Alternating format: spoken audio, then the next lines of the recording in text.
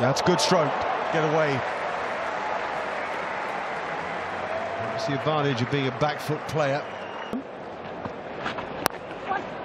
Oh, it's through. That'll probably be four. It's a nice way to play here at the Gabba. The, the short boundaries are the straight ones. To take hold. Oh, that's not a bad way to start by Handscomb. He loves them there, Warney. And that's probably why he's on again. Oh, wide full bunger. Another big chase. That'll be the 50 partnership, and that's a four. Catch that. Back live. He's got that away, Handscomb. Oh, and through. Of a fumble down there. And oh, I tell you what, this is a bit of a worry. Everyone's having to work hard. The tendency then, that's a man's down there, can't stop it. Oof. Good shot. He's got it through the gap. And that'll bring up Handscomb's 50, the third for the match for Australia. The timing starting to come into his innings. He's 51.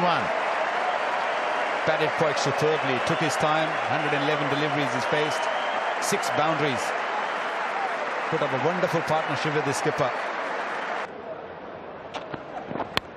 Edge and over the top. Oh, that hurts Pakistan. It flew. He, he did feel it.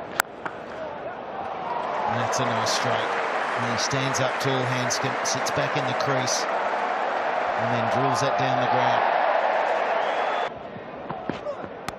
Oh, beautiful shot. Just watches the ball come on. He knows where the gap is. Glides it perfectly. They drove to the Adelaide Test from Victoria. He's a very popular figure. Has he got a six? He has! Slashes! The fist is clenched. The helmet's off. Second test. First 100 for Peter Handscomb.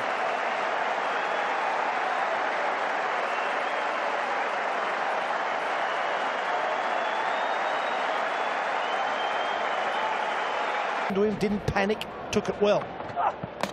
Oh, he's bowling. And now Handscomb chops on.